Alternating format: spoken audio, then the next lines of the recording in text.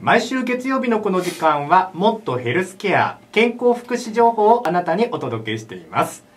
え第4週の今日は B 型肝炎 C 型肝炎ウイルス性肝炎の最新情報をお届けいたします。スタジオご出演は医療法人社団水色の木漏れ日肝臓クリニック札幌から川西照明さんです。川西先生こんにちは。こんにちは。今日もよろしくお願いいたします。よろしくお願いします。もう雪解けましたね。いや、すごいですね。道路がね、走りやすいですねすごいですね。ねやっぱりスピードもなんか1割2割アップされてる感じします。え ね皆さん安全運転でお願いします さてそんな中でございますが最近はいかがお過ごしでございましたか、はい、えっ、と3月はですね、あのまあ医療講演が、えー、14日にあってその時にまあ同心さんとかにも告知していただいて、はい。25人ぐらい集まってくれて、うん。すごくあの脂肪肝をねどういうふうに見ていくかっていう話で、まあ血液検査のデータを見て脂肪肝の時にはこんなふうになるんだよみたいな話をねしていきました。はいで、えっと、肝炎の C 型肝炎の新しい薬もね2月末に始まって3月中使っている患者さんもいるんですけどももうスタートしているとそうですね。いうことですね。はい。データも良くなって、意外と副作用も少なくてよかったわっていう形で使えてるのでよかったです。はい。あとはもうね昨日のあのー NHK スペシャルでね昨日放送がそうですね。特集があったということで。隠れ脂肪肝っていうタイトルでね、センセーショナルな感じで。そうですね、うん、1時間ぐらいの番組だったんですはい、けど、ご覧になられましたか？一緒に見てて「ああ」はいはい。って、あのいつもこうウイルス性肝炎で一生懸命こうやってた先生方が今度は脂肪肝だなって感じでこうだんだんと、ね、変わってきてる感じで。で脂肪肝の方も、まあ、年齢だとかもいろいろありますけどもアルコール飲まれてる方ももちろん多いんですけど、うん。アルコール飲んでない隠れ脂肪肝っていうのにターゲットを絞って、うん。安心しないでこうあのジュース飲むだとか夜食するだとか、まあ、そういったのがある人は要注意ですよっていうのはね。そこに食いついた。いやいやそう。僕お酒飲まないからそうですね。自分があんまりその肝臓っていう肝臓が悪いかもしれないとかって、やっぱり今まで思ってなかったそうですけどもこうやって番組ご一緒させていただいて、で肝肝臓イコールアルコールじゃないっていうか、でええ今のそのジュースを飲んでたらやっぱり要はそのなんですか？余ったカロリーが肝臓で蓄えられるっていうことでね 蓄えられていく中でもうはパンパンになると今度は肝臓が壊れ始めるんですね。もうこんもうこれ以上は蓄えられないよっていそう状態なのにもかかわらず、もう毎日毎日、うん。食べたり飲んだりとかしてる来と、ともう無理すですっていうお手上げになっちゃうってことそうなると肝炎になっちゃうのでそうなる前が脂肪肝の状態だからいかにそこをね早く見つけて対策取るかっていうのが今はもうあの治療薬っていうのがないので、はいなる前にもうブロックするっていうのが大事だって話をね盛んにしてましたね。僕毎日ペットボトルうのん、シュワシュワしてるものとか、ああ炭酸水ならいいんですよ。うん、甘くてシュワシュワしてるものを 僕でもね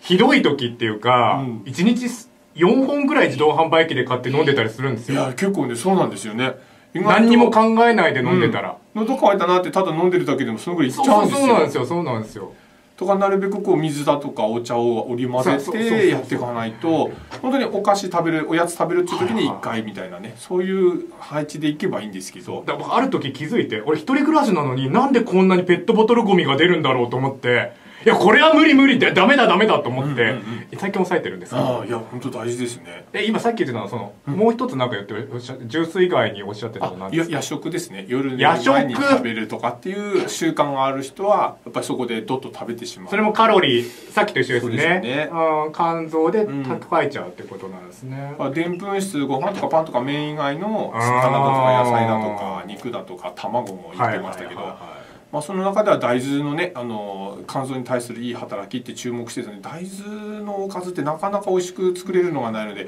やっぱり卵の方がいいんじゃないかなって私は思って聞いてたんですけど、まあ、そこもねありまして。で今日はもう早速午前中何件か問い合わせあったりとか。やっぱその昨日のですね。夜の、夜の番組ですか？うん9時から9時から1時間。もう1時間見て早速問い合わせが。帯広の肝がん検診の予約が3人ぐらいそれで来たって言ってましたね。あまあしまあ、肝がん検診自体もウイルスとあと脂肪肝の人ね、うんうんうんあのうんぜひ見つけてほしいので受診してくださいっていうアピールしてるのでねまあ、そんなのもちょうどこう追い風になったんだなと思ってねあとはあれですねあの肝炎対策協議会っていうのが3月12日に赤レンガ庁舎で行われていてそれにはい。小川さんたち原告団の方のね、うんうん。代表の人たち出ててそれで、まあ、定期検査ウイルスが消えた後の定期検査というのをぜひ盛り込んでほしいっていう話を、うんあのしてくれていてたただだど道でやってるものそうなんですね。北海道でやってるやつですね、ではい。傍聴席がね今回ねなんかかなり減らされちゃって。ええええ。実際に聞ける人が減ってしまったということで来年は増やしてほしいっていう要望もしてるそういうのって大体公開でやりますもんね。そうなんですね。傍聴できるようになって全国るんですよね。的にはどんどん傍聴が増えてるはずだったんですけど、うん北海道はちょっと逆行した形になったらしくて、えー。会場が狭いとかなんかいろいろあったのかもしれないですけど、そうまくねあのたくさんの人に知ってほしいなっていう話してましたね。そうですね。はい。はい。ということでございまして。ああとさっきおっしゃってた一番最初のその脂肪肝の講演とかでそのはい。検査結果ですか？あ要は血液のいろんはない。項目があるじゃないですか、のまあ例えばなんかポイン見るポイントみたいのがやっぱりあるということですか？ね。早めにそのまあ見つけるためには、肝臓の項目っていうと AST、ALT、ガンマ GTP っていうところがねよく検診で測られるところなんですけどまあその他にもコレステロールだとか尿酸値だとかはえーと血糖値だとかそういう糖尿病だとかね、うんうん。あのコレステロール尿酸痛風系だとかもはい。脂肪肝と絡んでくるので、あそう何なんだ。かかやっぱり異常があった場合はやっぱり肝臓ちゃんとチェックしておいた方がいいなっていうのがねありますよね。こ。れまた私事で申し訳ないんですけども あの最近ですねはい。悪玉コレステロールのはいはいはいはい。値が村方さんって言われて え何ですか？え僕初めて言われまして初めて言われましたって言ったら何言ってんですか？前から言ってますよって看護師さんに怒られたんですけど。そういうパターンありますよね。ねええーでもなんかそういう数値が悪い時にじゃあ食べ物をやっぱり変えたらいいの、でその食べ物でどうかするしかないのかなかでどうどうしたらいいんだろうって思うんですけどやっぱ食べ物変えるしかないんですか？うん、病院に行ったら薬があるので薬で下げるのはもちろん,、ねあのあるんですけどはい。薬なるべく飲まないでね、はい。いけるってやっぱり食事療法が大事になってくるやっので食事なんですか？コレステロール系はね本当に食事改善するだけで結構良くなってきます。さっき言ってた卵とあとでんぷん質系を減らすってやるだけでもね。結構良くなってくるんで、うん。まあい毎月こう血液検査が患者さん来て取ってくるとねちょっとずつちょっとずつ下がってくるのでうん。本人もねあこんなふうに下がるんですねってね。そうなんですよ、うん。あの結果が出るとすごい嬉しくてそうそう。このまま続けようって思うんですよね、うん。食生活ねその結果がなかなか見えないと難しいというか、良くなって3か月後ぐらいに調べるとまたちょっと戻ったりとかするんで油断するからね。油断しないようにこうちょこちょこ来てくださいねっていうパターンで、ね僕折れ線グラフ持たされましたよはい。っていうふうに。まあ、お薬飲んでた人が飲まなくてもちゃんと下がるっていうふうになるとね、うん。もっとがぜんやる気出すので。そうですよね。そういう意味ではああすごいなって思ってねやっぱね。そういうでもうん。なんか自分で分かるっていうかポイントっていうかね紙今もらえるじゃないですかね。全部ね、うんプリントアウトして病院もくださるので、そういうとこちゃんと自分で賢くっていうかチェックしていきたいなって思いますね。本当そうですね。本当に毎回こう自分の頑張りが出るんだって思うと、うんうんうん、みんなねちゃんと来るんだなって。そうですよそうですよだんだん頑張る気がなくなってくるとだんだんと来なくなってくるんだなっていうのももちろんあるんですけどね。ね。モチベーションをずっと高める特に食べることってずっとじゃない、ね死ぬまでずっとじゃないですか、うん。そこをずっと制限し続けるって思っちゃうと終わりがないからしんどいですよね。いかにこう楽しく食べられるように工夫するかっていうところをね、うん。我慢するっていうところがちょっとあるとうん。どこかでやっぱ我慢できなくなっちゃうから、そうそう。そこのなんかこれを食べればばいいんだ的なね好きなものと合致するのが見つかるとね、うん。いいなと思ってね、うん。まあ卵料理系はね結構これ好きですとかっていう部分がみんな持ってる人多いので,、食べやすい取りやすいかもしれななって思いますね。はい、ということで。あとなんか先日えっ、と21日木曜日。あ今先週祝日の日春分の日の時にあの脂肪肝エコーの無料体験をされていたということをあーはいはい。私聞いたんですけれども、この日もですね何人か来てやっぱり脂肪肝じゃない人もいました。しうん脂肪肝の人もいて、あの通院受診しましょうっていう話ねしましたね、うん。うん。ちょうどあの休日当番とかも合わさってたんで、はいはい。はいあの空いてる間にこうできるような検査だったんでね、来てもらってました、ということでございまして、えー、とそんな最近の出来事だったということでございますね。はい、えーっと、まあ、その新しいお薬ですね、改めて、まあ、どういうお薬なんですか、その今スタートしたものというか。ああ C 型肝炎のね、はい。あのー今まで飲み薬でウイルスが消えるっていう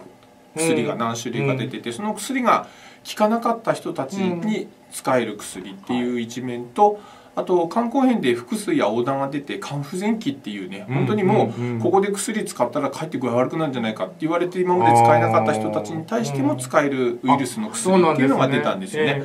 なので、うん、ともうここから先は手がないよって言ってた人たちでもなんとか治して戻せるっていうか。えそこから、うんその腹水があった人が亡くなったり、えー。脳症があった人が治ったりっていうことがあり得る、はいそういった薬としてねやっと適用が通ったので、うん。もうあのヨーロッパとかは結構もう何年も前から使われてたような薬なんですけでども効果があるっていうのはもちろんだから、はい、分かってたんですね。日本で使えるようになってほしいって言ってこう知見をいろいろ積み重ねて、うん。安全データが揃ったということでね今回あの使えるようになったんですよね。そうなんだ。でじゃあちょっとあれ、まあ、言い方あれわかんないですけどもなんかその悪くなったその時間を巻き戻せるというかね。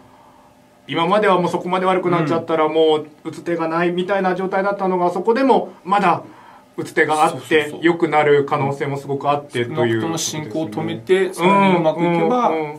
良くなってきますということですよね。改善ねが期待できるということですね、はいあそれは大きいですね、この薬はね、まあそんだけ状態の悪い人たちがどのぐらいいるかというものもあるんですけうど、やっんぱりウイルスがあのいて薬が使えなかった人たちは確実に進行していってしまう病気なのでねうん。少なくとも止めれるだけでも本当にありがたいっていうことですでねね、そのやっぱ選択肢が増えるっていうのが、ね、どのような状態の患者さんでも、ね、今そんなに悪くない状態でも悪くなっていく可能性もうん。あるわけで、そういう時でもまだその選べる選択肢がある、ね、選べる薬があるっていうのは、やっぱ全体の患者さんのためにやっぱなるんじゃないかなってねね。思いますね。はい、ということでそういうお薬も出ているということでございます。えーということでお話伺ってまいりましたけどもではここで今日も一曲はい。お願いいたしましょうか。はい。ということでピックを今手にしていただきましたがここからはシンガーソングライターアキさんと登場です。今日の一曲は、は今日はあの素敵な仲間っていうことでね、まあ、3月4月になって卒業入学っていうことでね、うん。いろんな仲間ができてくるのかなっていうところで、まあ、肝臓の患者さん方もあの原告さん方もね本当にみんな一生懸命頑張って今の状態さらにね良くなる、うん。あの環境を作りたいということで頑張ってるのでねそんな仲間に向けてつけ作った曲なので聴いてみてください。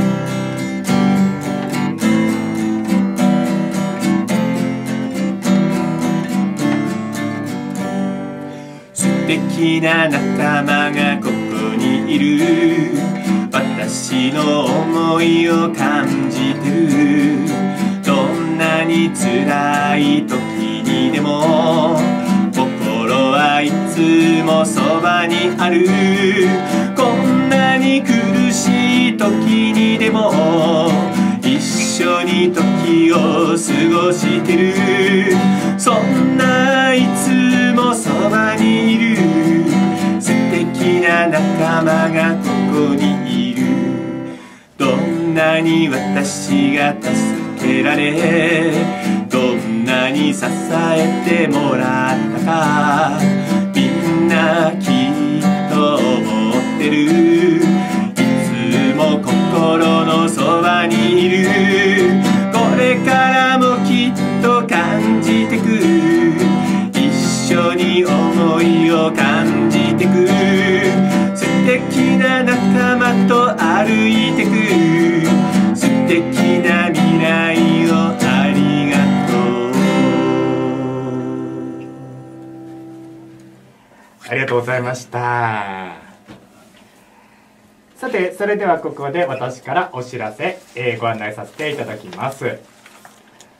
集団予防接種の際に注射器の使い回しが原因で40万人以上の方が肝炎ウイルスに感染しています。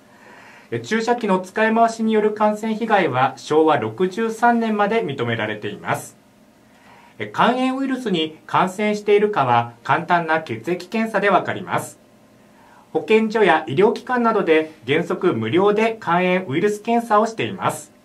検査は採血だけなので短時間で済みます。詳しくは最寄りの保健所お住まいの市町村にお問い合わせください。また集団予防接種などにより B 型肝炎ウイルスに感染された方に国から給付金が支給されます。詳しい資料請求はこちらまでご連絡ください。全国 B 型肝炎訴訟北海道原告団弁護団電話番号は011-231-1941番。231-1941番までとなっております。以上お知らせでございました。さてもう年度末もう年度末ってあ1週間ぐらいしか そうないということなんですよ。年度末はお忙しいんですか？いやまあどっちかっていうと、はい。患者さんがあの忙しいのでこれもこれなんか方も多いので 予約がなかなか意外と好き気味な感じなんですけど。ね、はい、新年度次の4月の動きなどいかがでしょうか、はい、と4月はあの医療公演が4月の、えー、と18日の木曜日にまた午後で予定してます。今度はあの睡眠時無呼吸症候群の話でね、はいはい、いびきに注意書いてなくても要注意ってことでねいびき書いてなくても油断しちゃダメだよって脂肪肝と同じような感じなんですけど、脂肪肝だとかやっぱ肝臓病の方にもあの一定数いることが分かっています、はい、あと、えっと、さあの肝がん検診がですね4月の13がえりものえー、で14日の日曜日が帯広市で行われます、はい、まあ、その予約を今受け付けているっていうところで進んでいます。はい。えー、ということで詳しい内容ですとかご予定など、えー、カニ先生のホームページブログにもですね更新されていきます。ブログのタイトル教えてください。はい肝臓病とともに生きる人たちを応援しますというブログをやっていますのでそちらの方をぜひご覧になっていただければと思います。はいということで、えー、新年度もこの番組、続くことになりまして。続かないなんてこともあったんですか、えー、改編って、ラジオにはですね、番組改編という大きな波が、その波をなんとか乗り切りましたので、あの、4月からもぜひ、第4週のこの時間ですね、はい、えー、カニ先生と一緒にお届けしていきたいと思いますので、新年度もよろしくお願いいたします。はい、よろしくお願いします、はい。ということで、この時間、医療法人社団水色の木漏れ日、肝臓クリニック札幌、川西照明先生でした。ありがとうございました。ありがとうございました。